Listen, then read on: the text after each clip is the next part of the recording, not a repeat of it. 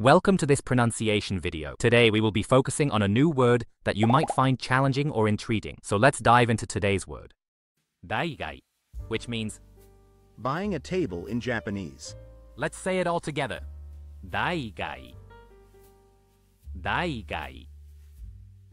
Daibai. One more time. Daibai. Daibai. Daibai. Thank you for joining us on this adventure in pronunciation. Remember, language is a journey, not a destination. Keep exploring, experimenting, and expanding your linguistic horizons. We'll see you next time.